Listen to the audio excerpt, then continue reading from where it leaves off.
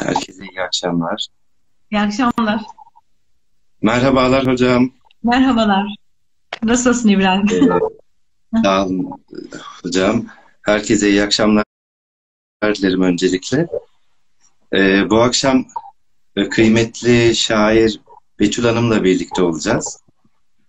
Ee, onun birkaç dizesiyle söze başlamak istiyorum ben. Her gün merak ediyorum telaşla nasıl öleceğimi. Her gün arıyorum kendimi elimde bir harita. Yatağa yatıp kalkıyorum. Yastığı sol kulağının üzerine koy. Evet, lise yıllarında e, öğretmenimdi Betül Hanım. Eğitimci kimliğinin yanında şair yönüyle de e, herkes gibi beni de fazlasıyla etkilemişti o zamanlar Betül Hanım. E, hatta 2002 yılında e, elinde bir kitabıyla çıkıp gelmişti dersimize. Güle Gece Yorumları kitabıydı bu. E, hala şu an gibi aklımda karşımızda oturup o kitabı bize tanıtışı. E, ve o, anki heyecanım fazlasıyla yaşıyorum e, şu an. Laf fazla uzatmadan e, hocamıza hoş geldin diyelim. E, bu teklifimizi kabul edip bizi kırmadığı için, burada olduğu için kurumumuz adına e, teşekkürlerimi sunuyorum hocam. Ben de Nasılsınız? teşekkür ederim. İyiyim, teşekkür ederim. Evde olduğumuz bu günlerde böyle bir program gerçekten de güzel oldu. Heyecan verici aynı zamanda ve keyifli. Seni görmek çok güzel aynı zamanda. Eksik olmayın hocam. Evet. Eksik olmayın. E, Klasik bir soru olacak ama şimdi şiire nasıl başladınız hocam? Ee, şöyle diyeyim ben aslında hani herkes gibi yani bir şeyler karalıyordum yani böyle işte aslında öncesinde resim yapıyordum. Hep ressam olacağım falan diye ben e, kafamda kurmuştum. Ee, ama bir taraftan da şiir de yazıyordum. İşte ilkokulda yazdım, ortaokulda yazdım. Lise yıllarında bir defterim vardı. Ama herkes yazar zaten hani böyle genellikle. Ee, üniversiteye gittiğim zaman da ben yazmaya devam ettim. O yıllarda e, Hacettepe Tarih Bölümü mezunuyum ben. O yıllarda sınıfımızda TRT'de spikerlik yapmış olan bir arkadaşımız vardı yani. İşte o, o da öğrenciydi bizimle birlikte Mesut Ertugay. Bir gün elinde kitabıyla geldi. Ee, tabii bu çok hoşuma gitti. Yani ben de bir yerlerde işte yayınlamak istedim. Benim serüven böyle başladı aslında. Yani e, şeyleri yani evet yazıyordum ama onlar şiir miydi? Değildi aslında. Ee, karalamalardı. Ee, doğal olarak da e, yani bir süre sonra e, bunlar e, bir şeye dönüşmeye başladı yani. Ama e, benim bunun dönüşebilmesi için de Trabzon'a gitmem gerekti. Biraz ondan bahsedeyim istersen. Tabii. E, Trabzon serüveninden. E, yani ben e, 1934 yılında yapılmış eski bir okulda, bir binada öğretmenlik yapıyordum. Yani ilk görev yerim de orasıydı aslında. Dolayısıyla e, yani kaç 30-40 öğrencisi vardı yoktu yani diyelim. Öğretmen arkadaşımız vardı Okan. Bir gün bana elinde bir dergiyle geldi. Kıyı Kültür Edebiyat dergisiyle yazdığın şiirleri buraya gönder Betül dedi. Onun üzerine ben e, yani e, tabii şimdiki telefonlar yok, bir bilgisayar yok, bir şey yok. Okulun eski daktilosuyla bir sayfaya birkaç şiir yazdım, gönderdim. Beklemeye başladım. Cevap gelmedi. Sonra yayın yönetmeni de bugün de tabii e, yazan, ondan sonra e, kitaplar olan Ahmet Özer. Ondan sonra neyse onunla buluştuk e, Trabzon'da Meydan Parkı'nda. Şiirlerimle baktı falan. Sonra işte 1992 yılında e, ilk şiirim Kıyık Kültür Edebiyat dergisinde e, çıktı. Ve o anki heyecanımı tabii anlatamam yani. 87 yılında yazmış olduğum bir şiirdi açıkça söylemek gerekirse bu şiirde. Ve e, ilk şiir yani ilk yayınlanan şiir Son Eylül adlı şiirde ve ondan sonra da zaten e, ben e, 6 ay kadar. Kastamonu'ya gittim. Oradaki Kastamonu'dan bahsedelim biraz. Hocam bu arada Kastamonu demişken pek kıymetli e, Mümtaz Bey de yayınımıza katıldı. E, yayında arkadaşlar bilirler belki Kantar Karakolu tutulmaları, Aşk zamanı ve kitapları var kendisinin. Saygılarımızı sunuyoruz hocam. Buyurun hocam, Kastamonu'dan bahsedelim. Ee, Kastamonu aslında benim için bir okul oldu yani kent. Ee, ilkler kentidir Kastamonu. Dolayısıyla e, tarihi çok eskilere giden bir kent aynı zamanda. İşte e, şair Leyla Sazı e, Saza Saz da orada yaşamış. Sırrı Paşa'nın eşi, vali. E, bir bestekar, şair bir kadın. İşte e, birkaç kadın daha var aslında ama e, tabii Leyla Saz ismini biz daha çok biliyoruz. İşte Oğuz Atay e, ya da Necati Gil, Rıfat Ilgaz falan. O onlar için ben bir şeyler yapmaya çalıştım Kastamonu'da. İşte etkinlikler düzenledik. E, mahalle var, Dünya Yerel Yönetim ve Demokrasi Akademisi. Mahalleleri ve muhtarlıkları güçlendirme projesi kapsamında e, bir proje gerçekleştirilmişti Türkiye'nin altı ilinde. Bir tanesi de Kastamonu'ydu. Orada iki yıl gönüllü çalıştım ben. Bu çok keyifli bir şeydi. Oradan bir şeyler öğrendim. Sonra işte e, Senur Sezer'le birlikte e, Ellezler Konağı'nda e, Kadınlar Edebiyatla Buluşuyor diye bir e, çalışma e, yaptık. Yani iki gün kadar sürmüştü o da. E, amacımız orada kadınlara bir şeyler hani yazdırmak, yapmak, onların kendini ifade etmelerini sağlamaktı. Zordu ama gerçekten de güzeldi. Oradan da bir şeyler öğrendim. Kadınlar ee, için çok çalışmalarınız oldu. Takip ettik onları. Evet, e, Antalya'da da oldu aslında bu. Burada da yapmıştık. E, Kastamonu'da böyle yani ilk kitabım Kastamonu'dayken çıktı. Orada kızım doğdu. Yani e, bir, bir ya etkinlikler yaptık, imza günleri, söyleşiler düzenledik. Hatta e, Göl Anadolu Öğretmen Lisesi'nde Mümtaz Bey de bilir zaten bunu. E, onun da desteği olmuştu. Biz e, bir dergi çıkarttık e, toplu fotoğraflar diye. Güzel bir dergi olmuştu. E, hatta e, Bengi, Bengi Özsoy e, mesela e, orada yazıp çiziyordu. Daha sonra zaten Yaşar Nabi Gençlik Ödülleri'nde sonra Rıfat Ilgaz Şiir Ödülünü e, e, ne almıştı. Bu oldukça keyifli bir şeydi aslında. E, yani e, Kastamonu güzel bir kent gerçekten. E, nimetlerinden yararlandığımı söyleyebilirim o tarihi kentin. Keyifliydi orası, evet. Hepimiz için öyleydi hocam. Sayenizde, sizlerin sayesinde. Peki e, çocuk edebiyatından bahsetsek biraz da hocam. Çocuk edebiyatıyla da ilgileniyorsunuz. Çocuklar için de yazdığınız kitaplar var. E, evet. Onlarla ilgili edersiniz. Yani yaklaşık e, Antalya'dayım şu anda. Yani 14 yıl olmuş buraya geleli. Yani 13, 12-13 yıldan beri de çocuk edebiyatıyla da ilgileniyorum. Ama daha çok e, şiirler yazmışım yani çocuk şiirleri. Bu alanda biraz açıklık gördüm aslında. Biraz bundan kaynaklandı. Biraz da e, okuduğum e, kitaplarda ya da şiirlerde eril ifadeler çok daha fazlaydı.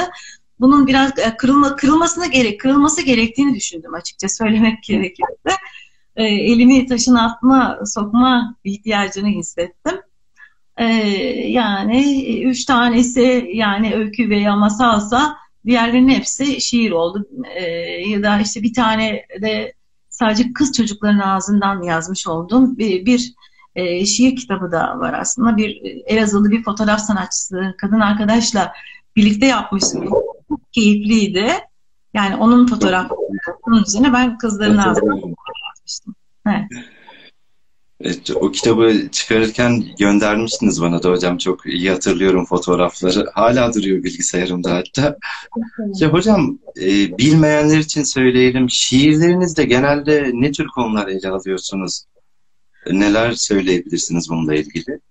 Yani aslında şöyle diyeyim ben, e, her şey şiire konu olabiliyor. Yani bu toplumun içinde yaşıyorsanız, ee, bir takım şeylerden ya da bu dünyada yaşıyorsanız bir takım şeylerden etkilenmemeniz asla mümkün değil.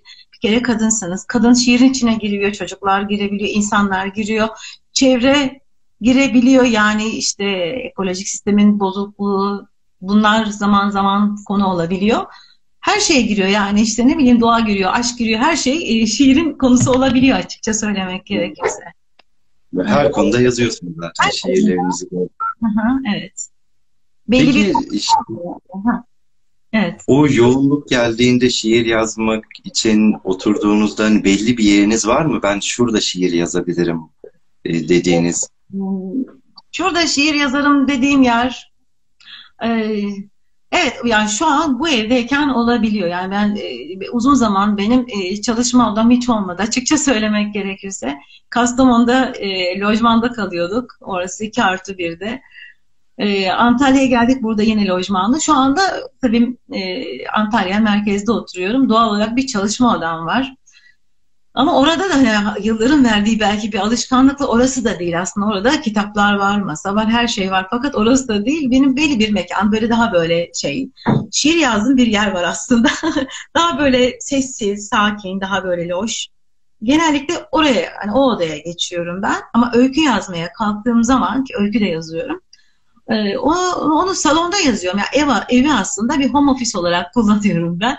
E, bilgisayarın başında öyküyü e, şiirleri de kağıt ve kalemi kullanarak yazdığımı söyleyebilirim.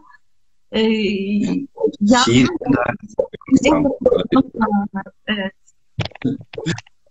Peki e, en sevdiğiniz şairler e, herkes onu merak eder şimdi bir şaire pek sorulacak bir soru değildir aslında ama en sevdiğiniz şairler kimler olabilir aklınıza gelen hani örnek Evet. Aslında e, çok fazla belki değil ama tabii şiiri e, yani şiir okuyorum.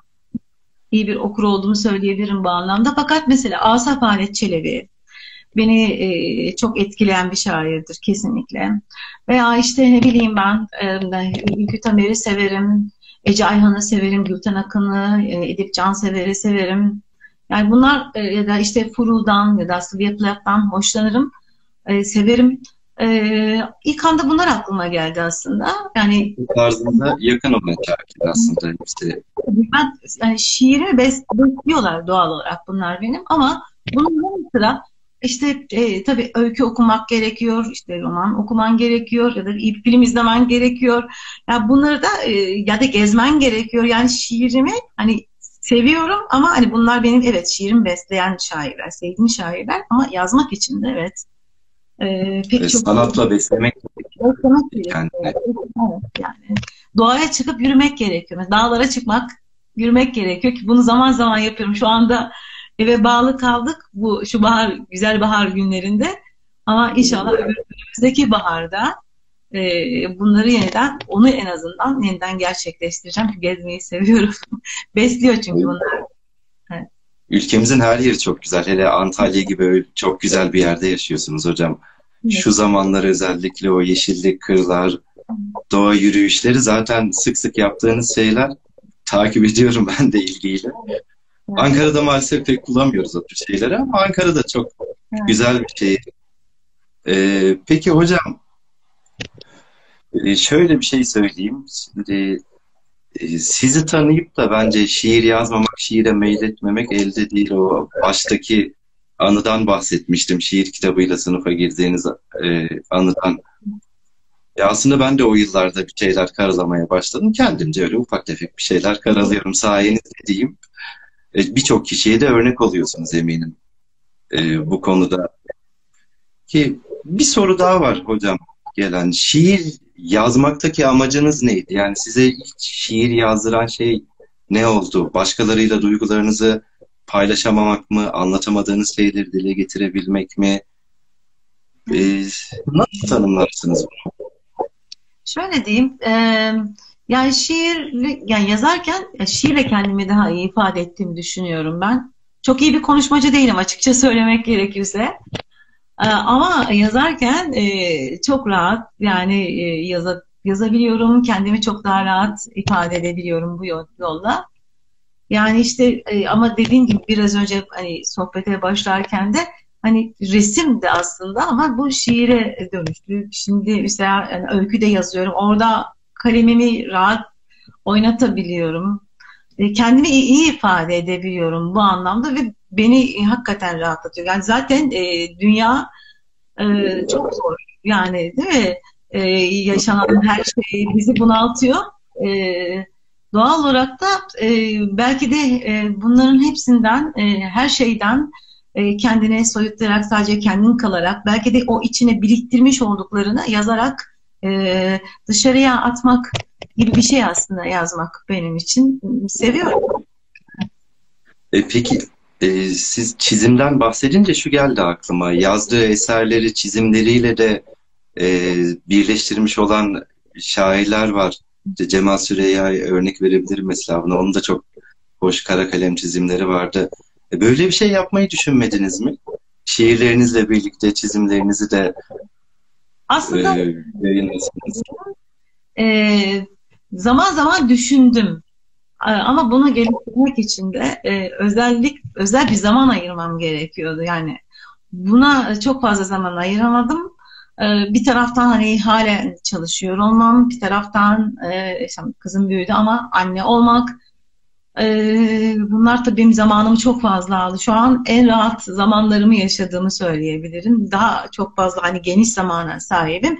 Ama hala çalışıyor olmak çok fazla beni bölüyor. Bir taraftan hani işte çocuk edebiyatı var, bir taraftan hani öykü, bir taraftan işin içine e, yani şiir giriyor. Dışarıdan dışarının hayatı var bir de. Yani e, sokaklarda yürümeyi, o eski evlerin arasında Antalya'dayım hani o kale içinde gezmek, dağlara çıkmak, hani beslemem, birimiz demem.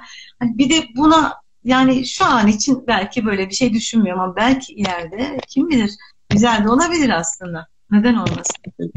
Ülkemiz şartları aslında tamamen sanata meyilmiş kişilerin yaşaması için biraz zor. Çünkü yani sadece bu popülariteden uzakta kendi yazdığı eserlerle işte geçinebilmek, yaşayabilmek e, biraz zor aslında. Yani daha çok popüler olmaya yönelik şeyler yapsanız eminim e, hiçbir işle uğraşmadan tamamen yazarlıkla uğraşabilirsiniz ama o da yapınıza da e, ters zaten.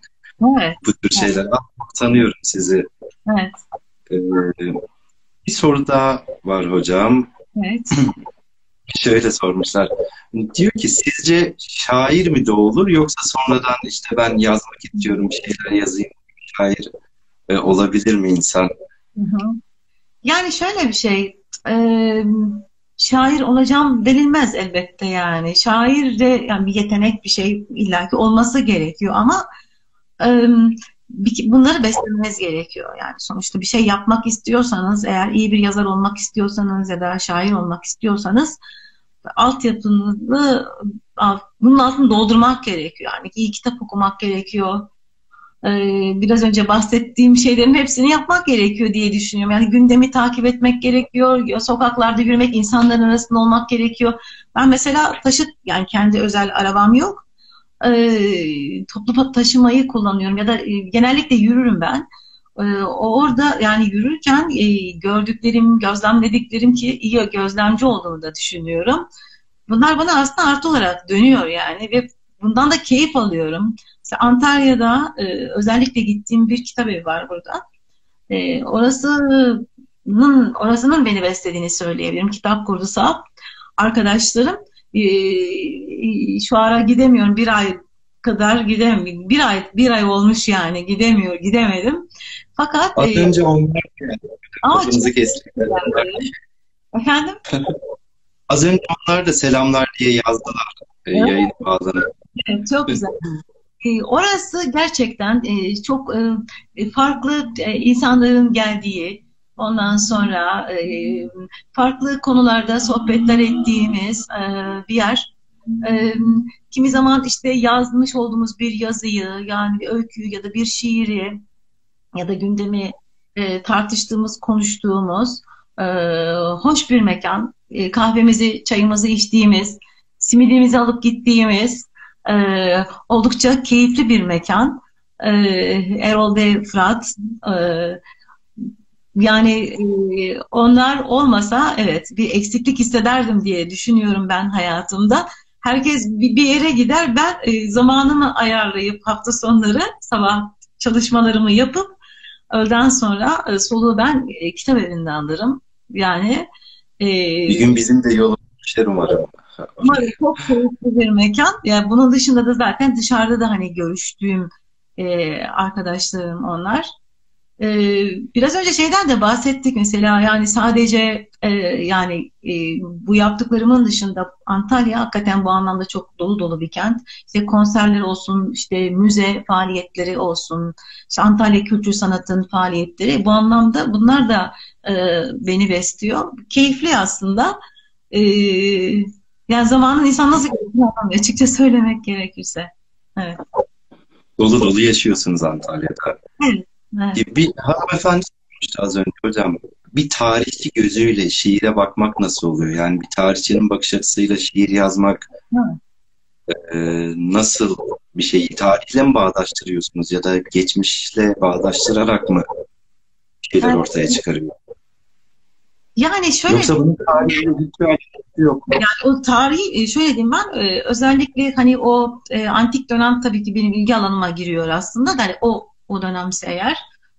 Ee, bir şekilde bunlar beni besliyor. Yani illa o alanda bir şey yazacağım diye değil de ama beni besleyen şeyler. İşte antik kentler ya da o müzedeki o so yapılan sohbetler bunlar bana başka şekilde dönüyor. Ee, şiirim besliyor aslında. Bilmiyorum tam cevap oldu mu?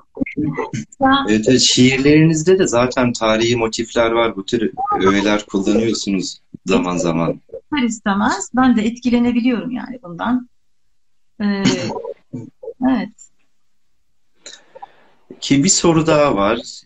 Şiir yazmak karşılaştığınız olayların sonucunda bunları kağıda dökme isteğiyle mi doğuyor? Yoksa hani durayım ben şu konuda bir şiir yazayım deyip mi oturuyorsunuz şiir hmm. yazmaya? Böyle bir şey ol yani şu konuda bir şey yazayım diye değil de e, yani e, yaşadığımız bu dünya içerisinde yani bu hayatın içerisinde o kadar çok şey aslında olup bitiyor ki bazen çok sinirleniyorsunuz bir şeye, bazen çok mutlu oluyorsunuz falan. Ee, çok duygulandırıcı anlar olabiliyor. O zaman işte yani e, bir o coşkunluk e, anı yoksa hani oturayım ben hani şiir yazayım falan diye e, öyle oturmam ama e, yani e, olacaksa zaten kendiliğinden olan bir şey. E, ama e, yani şu zaman diliminde değil belki ama özellikle hafta içinde, hafta içleri genellikle çalışmış çalışıyor olduğum için e, bu anlamda e, çok yani hafta sonlarını ayırıyorum kendime ben. Cumartesi ve pazar sabahla öğlene kadar böyle geç saatlere kadar hani oturayım falan zaten mümkün değil çalışıyorum. E, ne çıkıyorsa o zaman diliminde çıkıyor. E, bir de e, yani 14 yıl Antalya ve Antalya'ya şimdi yaz gelmek üzere. Bende böyle bir şey var, heyecan. o sıcak çok zor. E, sıcaktan sıcakta bir şey yapıyor olmak gerçekten de çok zor. O zaman okumaya daha çok da e, e, zaman ayırıyorum. E, yani öyle yazayım falan olmuyor açıkçası. Ama o kendisi zaten kendisini bana e, yazdırıyor. Evet. Ya bir fikir oluşuyor kafada. O zamanla demleniyor. Yazılacak hale geliyor. Evet. İşte ortamda müsaitse o zaman oturuluyor şiirin başına. Evet. Bir sorumuz daha var hocam. Bugünlerde yeni bir şiirle uğraşıyor musunuz diyor Gülay Hanım sanırım. Şimdi şöyle bir şey. E, yani e, yazdığım e, tabii şi, yani şiirler var. Yani yeni bir dosya oluşuyor. Zaman içerisinde oluşan bir şey. Zaten e, maksatlı makaslar daha henüz bir yıl oldu çıkalı. E, yani hemen yeni bir kitap e, olacak diye bir kaygım da yok açıkça söylemek gerekirse. E, e, şu anda yazıyorum, birikiyor. Belki o yazdıklarımın çoğu kitabın içine de girmeyecek de olabilir. İşte bekliyorlar, dinleniyorlar. Sonra üzerinde çalışıyorum yani filan. Ee, böyle. Peki hep merak ettiğim bir sorudur hocam. Şimdi e, bir şairi nasıl karşılar bu soruyu bilmiyorum ama oturdum masanın başına. Bir şiir yazdım, bitti o anda. O an bitiyor mu o şiir yoksa hani birkaç gün sonra belki bir yıl sonra bile devam edebiliyor mu? Şöyle bir şey, bazen yani çok nadir olmuştur herhalde. Bazen evet yazar, yazıp kalkmışımdır ama çok nadirdir bu. Fakat e, yani yazarım. Yani bir daha üzerinde çalışırım, döner, bakarım. Alt üst ederim o şiiri. Yani iğneyle kuyu kazmak gibi ama keyifli bir şey. Yani evet. Yani şimdi oldu diyene kadar olmuyor. Bir anlık bir şey değil yazma süreci. Evet. Yani evet. Uğraşırım yani. Yakasına yapışırım bırakmam diyelim. Ki hocam okulda da birçok öğrencimiz var. Tamamı nerede diyeyim okumayı çok seviyorlar. İçlerinden yazmaya merak salan öğrencilerimiz de var. Şiirler yazanlar var. Çok güzel öyküler yazanlar var. Evet. Ee, bunlar için tavsiyeleriniz olur mu? Yani bir ilkokul çocuğuyum. Şiir seviyorum. Okumayı seven mesela çok öğrencilerimiz var. Şiir okumayı seven, seslendirmeyi seven. Hani bunlara nasıl tavsiyeleriniz olur? Ee, yani bol bol kitap okumalarını tavsiye edebilirim. Ee, yazmalarını. Yani mesela çıkan güzel edebiyat dergileri var. Kaliteli yani. Onları takip etmelerini söyleyebilirim. İyi bir gözlemci olmalarını söyleyebilirim. Gezmelerini, imkanları el verdiğince. Ama yürüyerek özellikle şehrin içinde. Tabii ki Anadolu'yu tanımak oldukça ah, önemli değil mi? E, veya imkan varsa ki daha sonraki dönemlerde e, yurt dışına açılmalarını söyleyebilirim. Yani ufuklarını açmak anlamında bunların gerekli olduğunu düşünüyorum. Hayata dair ne kadar fazla şey görebilirlerse o kadar iyi aslında. Evet, kesinlikle. Evet. Aha. Bir soru daha var hocam. E, kitaplarınıza ve şiirlerinize isim koyarken e, nelere dikkat ediyorsunuz? Yani bir şiirin ismi ya da bir kitabın ismi nasıl ortaya çıkıyor? Şöyle bir şey, e, mesela Kardan Harfler bir kitabım vardır benim. Benim çocukluğumun bir kısmı e, Bingöl'de geçti. Bingöl'e gidinceye kadar e, neredeyse ben hiç karı görmemiştim. Dolayısıyla kar beni çok fazla etkilemiş olmalı ki Kardan Harfler e, yani bir şiir adı ama kitaba da isim oldu. Daha sonra e, Kar Merdiveni adlı bir kitabım çıktı mesela. E, yine onda da bir kar imgesi var açıkça söylemek gerekirse. E, ya da işte ağır tören mesela. O bir şiirin adıdır aslında. E, kitaba adı oldu. Maksatlı makastar yani ya da e, işte üzgündü kırlar veya işte rüzgarın azabı o bir şiirin adıdır aslında. Yeri gelmişken bir şiir okuyalım mı? La çok iyi olur hocam. azabı demişken rüzgarın azabını okuyayım ben size. Yani kitabımda Yankılar. Evet ilk şiire. Evet. Hatta ben rüzgarın azabıyla hatıralara ilmeklenen, aklımın aldığıyla almadığı arasında bir sökük. Terzi var gibi orada sabaha ulandım. Koştuğum bu son şarkı dedim, başa sarar mı? İntiharla yaşam arasında bir tasvir. Okyanus var gibi orada, ıssız ovaya salındım. Sıçırdım, tesadüfün üzerime yığdığı tüfle. Duymakla bir sesi bahtiyar, çocukluğu kötü geçmiş. Yazla kış arasında bir cinnet var gibi orada, endişeye kapıldım. Zor olanı seçtim. Uçurum uzun sürecek gibi. Teslim oldum tamamkar. Hissettiğimle hissetmediğim arasında bir ünlem var gibi orada söze sarıldım. Gördüm bunu. İçine doğduğum rüyayı ve hatırladım Gülle diken arasında bir yara ses varmış gibi orada kuytuma çağrıldım. Böyle rüzgarın azabı bir taraftan da içinde kaybolup gidiyor Abi, insan hocam. Öyle güzel okudunuz ki ağzınıza sağlık, yüreğinize sağlık. Evet. bilmiyorum ben şiiri çok sevdiğim için mi ondan da olabilir belki ama şiiri dinlerken hayata dair her şeyi unutup sadece o şiiri yaşatabiliyor şiirleriniz. Sen evet. tekrar yüreğinize sağlık diyorum. Ee, birkaç sorumuz daha var hocam izninizle. Evet. demiş ki ne demiş? Ha, geleceğe dair projeleriniz var mı diyor mesela bir arkadaş. Yani evet e, şöyle diyelim yani şu an zaten yani yani e, şiir ya, yazmakla yani işte okumakla evet yani yeni bir kitap e, evet bir zaman içerisinde oluşacak. E, bit, bittiğini düşündüğüm bir e, öykü dosyası var mesela.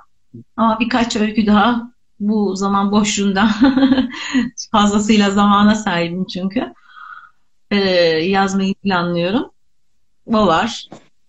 Başka yani e, aslında çocuklar için şeyler yapılabilir mesela. Hani yayıma hazır bir e, çocuk şiir e, dosyası var ama e, bunlar hallolduktan sonra yani yeniden çocuk şiirleri yazılabilir. E, yani işte öyküler yeniden ortaya çıkacak ama bu e, mesela bunun yanı sıra e, çocuklarla atölye çalışmaları. Yani geçen yıl mesela burada e, bir sanat evinde çocuklarla yaratıcı yazarlık atölyesi yapmıştık. Böyle bir şey belki olabilir. Hani bu Nisan ayı için yine Antalya'da bir yerde e, e, şeyler planlıyorduk e, mahalleli çocuklarla Kastamonu'da yaptığımız gibi. E, fakat zannetmiyorum hani şu anda sokağa çıkmadığımız için belki daha ileriki zamanlarda yine e, orada e, çocuklarla e, bir çalışma yapıyoruz. O da keyifli olabilir. E, hoş evet. aslında. Hani onları yaratıcılıklarını hani besleyecek, onları geliştirecek şeyler aslında. Bir taraftan hani bir şeyler okumak, onlara ya, bir şeylerin yazmasını yani yazmaları, yazdıklarını resimlemeleri falan oldukça keyifli bir şey, zevkli bir şey aslında. Ama iki saatin nasıl geçti bile açıkça söylemek gerekirse anlaşılmıyor. Doğru. Bir öğrencimiz soruyor hocam bu arada şu dönemde bizim için ne önerirsiniz diyor. Yani okumak dedik. Bol bol okuyacaklar sanırım.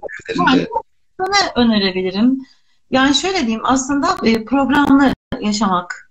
Yani e, insanın hani e, şöyle diyorum ben mesela ben bu süreçte yani haftada iki defa dışarıya çıkıyorum hani ihtiyaçları karşılayabilmek adına eve. Ama zaten kendim yani, yani nasıl pro, zaten programlı yaşıyordum ben e, sabah hani kalkarım. Onların da bu şekilde olması gerektiğini düşünüyorum. Böyle bir şey yaparlarsa zaman nasıl geçtiğini anlamazlar. Mesela ben sabah kalkarım, kahvaltımı ederim, kahvemi içerim, bir şeyler okumaya başlarım ya da yazıyorumdur falan. Ondan sonra e, akşam e, işte, e, bir film izliyorumdur mutlaka yani. Böyle bir şey yaparım. E, yani, film paylaşımlarınızı da bu arada ilgiyle takip ediyoruz hocam. Sinemayı seviyorum. Dünyadan çıkıp evet dünyaya e, geçiyorsunuz. Yani ve çok hakikaten de çok çok keyifli. İyi yönetmenlerin e, iyi filmlerini izliyorsanız bir de e, bu insana çok daha fazla zevk veriyor. Keyifli bir uğraş. Çok şey katıyor. Çok şey katıyor evet insana. Gerçekten. Film demişken hocam e, bir katılımcımızın sorusu vardı az önce. Şimdi onu hatırladım.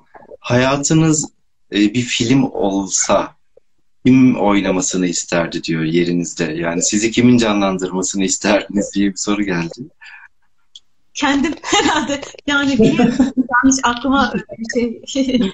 Aynı şeyi düşünmüştüm aslında.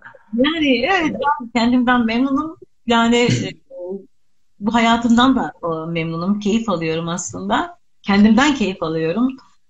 İnsanın kendinden keyif almasının da e, çok e, önemli olduğunu düşünüyorum. Kendisiyle vakit geçirmesinin. E, özellikle e, şu zor dönemde değil mi? E, dünyaca zor bir süreç geçtiğimiz dönemde e, ben kendimi yeniden yani kurmak zorunda kalmadım zaten. Hani bu hayatım devam ediyor benim yani dışarı çıkmak dışında. Yani zaten var olan şeyi sürdürüyorum. Bu anlamda evet. Yani kendim kendi başınıza hayatı dolu dolu yaşayabiliyorsanız zaten hani ekstra bir şeye gerek duymuyor insan. E, vakti nasıl değerlendireceğinizi biliyorsanız, o programı bozmuyorsanız mesela artık işte işe gitmiyorum, öğlene kadar yatayım. Mesela ben de hiç onu diyemedim. Sabah güneşin doğuşunu izlemek benim için hep büyük bir keyif oldu. Hani iş olsun olmasın erken kalkıp bu yapmayı sevdiği şeyleri yaparsa insan yaşamak çok daha kolay alıyor. Ki hocam az önce öykülerden bahsettik. Öykülerden bahsetmişken Kastamonu'dan bahsetmişken Oğuz Atay aklıma geldi. Çok evet. kıymetli yazarımız. Hani onunla ilgili de bir şeyler söylemek istersiniz belki. Şimdi tabii Oğuz Atay e, İnebolu'lu kendisi. E, Kastamonu'da yani yaşarken e, e, Kastamonulu değerlere sahip çıkılması gerektiğini de ben tabii düşünmüştüm. Bu arada hmm, yani onun adına işte Nebi Sempozyumun düzenlenmesi, etkinliklerin yapılması, öykü ödülünün e, başlatılmasında vesile olmuştum. Hatta İnebolu'da da onun doğmuş olduğu eve de e, e, Oğuz Atay burada doğmuştur diye de e, yazılmıştı.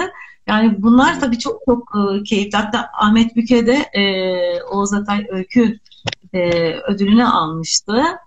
E, aslında tabii bunlar e, kolay şeyler değil aslında. Yani bunları yapıyor olmak. Bir taraftan hani çalışıyorum, anneyim, bir taraftan bunlarla uğraşıyorum falan. E, zor şeylerdi. E, madem hani Oğuz Atay dedik aslında mesela e, Rıfat Ilgaz Şiir Ödülü mesela. Daha önceden ciddi yapılıyormuş ama Aydın Ilgaz'ın da destekleriyle biz e, mahalle evinde 5 yıl kadar süren e, Rıfat Ilgaz Şiir Ödülü gerçekleştirmiştik. Bu çok çok keyifliydi. Yaş sınırlaması vardı. Yani e, daha çok hani gençler e, katılsınlar. Hani e, e, kendini ifade etsinler falan. Bu anlamda e, gerçekten de iyi olduğunu düşünüyorum bu ödülün. E, tabii ki Necati yani. E, onunla ilgili panel yapılmıştı. E, güzeldi, güzel yıllardı aslında gerçekten de. E, biraz önce bahsettik hani e, şunu da ekleyeyim ben mesela Antalya'ya geldiğim zaman da bu etkinlikler devam etti bir süre çok fazla olmamakla birlikte mesela Sernur Sezer'le birlikte yapmış olduğumuz bu kadınlarla ilgili o olan o e, atölye çalışmasını biz burada e, Büyükşehir Belediyesi'nin de katkılarıyla 100 tane kadını Kepez'deki e, semt evinde toplamıştık. 11 şair, yazar, kadın. E, işte Ayşe Sarısayın, Arife Kalender, Çiğdem Sezer, e, e, Hande gibi isimler var. Şimdi hepsi aklıma bir anda gelmedi aslında ama hatta yazdık kadınlar yazdılar ya üç gün sürmüştü ve yazdıkları da kitap haline de getirilmişti ve daha sonra onlara da dağıtılmıştı. Bundan sonra böyle bir şey yapar mıyım? E, yani umarım ama gerçekten hem keyifli hem de bir o kadar da e, zor bir çalışmaydı ama güzel. Evet. Ya fırsat bulduğunuzda o tür çalışmaları yapmadan duramayacağınızı biliyorum ben. Bu arada İnebolu demişken hocam evet. Oğuz Atay'ın evini ben İnebolu'yum. Oğuz Atay'ın evini bilir top oynarken bahçesinde topumuz kaçardı. Boş bir evde aslında hani sizin çalışmalarınızdan sonra evin restorasyonu yapıldı. O kapıya e, tabelanın konması e, yine sizin sayenizde sağlandı. Rıfat. Ilgaz dedik, e, o Aydın Ilgaz'ın e, evet. e, gelişi okulumuza gelirdi sürekli her yıl. E, konferanslar verirdi. Hani o kadar çok şey kattınız ki aslında sadece benim hayatıma da değil. Yayına bağlı olan liseden arkadaşlarımız da var. Onlar da sürekli selamlarını yazıyorlar. Hocam hiç değişmemişsiniz diyorlar hatta sizin için. Teşekkür ederim. Herkese çok selam. Yani sadece bir yazar, şair olarak değil, öğretmen olarak da yani aslında hani öğretmenliğe getirecek olursak konuyu yani öğretmenlik kimliğinin altını doldurduğunuz o kadar çok şey var ki edebiyat, sanat, yaptığınız bu çalışmalar yani çok nitelikli bir öğretmen olmanızı da sağlıyor. Aynı zamanda bu yaptığınız çalışmalar sayesinde zaten bu kadar kıymetli bir e, yazar, şair olduğunuzu düşünüyorum. Hani benim bunları söylemem bilmiyorum ne kadar doğru olur ama evet. orada liseden arkadaşımız var hocam Nuh. Bilmem hatırlar mısınız? o da çok selamlarını iletiyor şimdi. Görünce çok mutlu oluyorum ben o dönemden arkadaşlarımı sizin Hani evet. elinizde büyüdük diyebilirim orada dört yıl öğretmen okulunda. Bir şey değil yani yurttu, kız yurdunda belediyecilik yaptığım yıllar yani e, ve kızlarla beraber iç içe ve sizlerle okulda e, orası da bir okuldu bizim için benim için aslında. Yani hani öğretmen olmanın dışında e, hepimiz birbirimizden bir şeyler öğrendik açıkça söylemek gerekirse. Yani Mümtaz ya Bey farklı mesela o yazıyor yani e, haberleşiyoruz. Bunlar çok keyifli şeyler aslında ve hoş aslında. E, bağlarımızın kopacağını düşünmüyorum bu anlamda. Ve bunca yıl sonra hani sizinle bu röportajı, bu söyleşiyi yapıyor olmak çok heyecanlandırdı beni. Bilmiyorum ne kadar belli oluyor. Mesela Sevtap arkadaşımız da yazıyor. Onunla da aynı sınıftaydık. O da çok büyük bir şiir tutkunu. Şiirlerinizi sürekli okurdu. Bengü ondan bahsettik dediğiniz gibi. O da aslında sizleri örnek aldığı için şiir yazmaya başladı, kitaplar çıkardı. Bengü gerçekten e, yeni bir dosyasının hazır olduğunu biliyorum. E, yani o ilk kitabı da zaten çok çok güzel bir kitaptı. Kraliçe Bakire. Şimdi yine bir dosya var. Basıma yani yayına hazır vaziyette bekliyor. E, Maaz vardı mesela. E, Evet, Maaz. değil mi? O O da İstanbul'da çok bir şeyler yapıyor, yazıyordu aslında. Çok iyi kitap okuyordu. E, ve aslında beste okumanın beslediğini nasıl buradan da anlayabiliyoruz, değil mi? Evet. Hani hatta Maaz'ın soy ismi İbrahim. İstanbul'da bir arkadaşım daha vardı İbrahim. Hani üç İbrahim bir araya geldik onlarla beraber kitaplar okuduk, şiirler okuduk. Sizleri çok çok andık. Mümtaz hocamızı çok andık aynı şekilde. Çok güzel. Hocam ben çok teşekkür ederim tekrar kurumumuz adına hani Ben bir yayına katıldığınız için. Her şey için. Bakıyorum başka soru var mı diye hani soranlara ayıp olmasın. Bundan sonra kapatabiliriz. İster misiniz bir şiir daha? Çok güzel Tamam. olur hocam. Dinliyoruz. Masum rüyada biri. Burada mümkündür bekleyiş susmasa ellerim. Karınca orduları var geldiler. Kayıp bakışlı bir denizci yüzünü toprağa gömüyordu. Taş dile gelmesin. Bunu bir kadının rüyasından gördüm. Burada ağırbaşlı bir deniz var geldiler. Sözleriyle geldiler. Omuzlarında puhular. Korktum beni duyacak bütün kulaklar geldiler. Seslerini taşıyarak elimde eski bir tabanca, hazırdım atış talimine elleriyle çizilmeye. Parmağımı boşluğa uzatıp geldiler. Gideyim dediydim, çok kaldıydım içimdekini anlamakla. Biri geldiydi, kuytu ve masum biri. Sahura'nın öldüğüydü geldiler. Gözleriyle geldiler, omuzlarında puhular. Ağızları kara bir delikti, çatallıydı üstelik. Hazırdılar kemen tutmaya boğazıma geldiler. Bak aklın orada kalır. Bunu bir çocuğun rüyasından gördüydüm. Solukları sık ve derindi. Uzaktan ses alır, ses verirdi. Elinde karalanmış bir kağıt parçası duyurur kendini. Bunu anlamıştım. Mümkündü gitmek. Beni gösterdiydi. Yüreğinize sağlık hocam. Rüya gibi bir yayın oldu benim için. Benim için de Ee, hem sana hem e, Jale ve Bahar Hanımlara e, buradan çok çok e, selamlarımı iletiyorum, sevgilerimi iletiyorum. Çok keyif aldım ben de. Eksik olmayın hocam tekrar. Ee, dediğim gibi çok çok teşekkürler. Siz gibi değerli bir e, insanı, bir şairi, bir yazarı, bir öğretmeni burada ağırlayabildiğimiz için kurumumuz adına da çok teşekkürlerimi sunuyorum. Ee, siz gibi değerli öğretmenlerin e, yönettiği bir kurumdayız aslında. Hani Lale Hanım da çok kıymetli bir Türkçe öğretmeni. Bahar Hanım e, keza o da İngilizce öğretmeni. Ben şunu söyleyebilirim bence son olarak. Dünyayı, hayatı değiştirenler öğretmenlerdir bence. Çok teşekkürler hocam yayınımıza katıldığınız için. İyi akşamlar, iyi geceler. Görüşmek üzere, selamlar. Eksik olmayın. Güzel. İyi akşamlar diliyorum.